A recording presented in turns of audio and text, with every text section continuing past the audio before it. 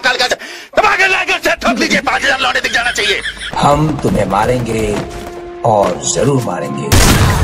लेकिन वो बंदूक भी हमारी होगी, गोली भी हमारी होगी और वक्त